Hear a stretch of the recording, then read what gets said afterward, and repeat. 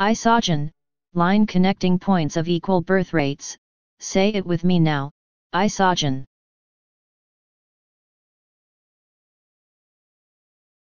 Please subscribe and thanks for watching.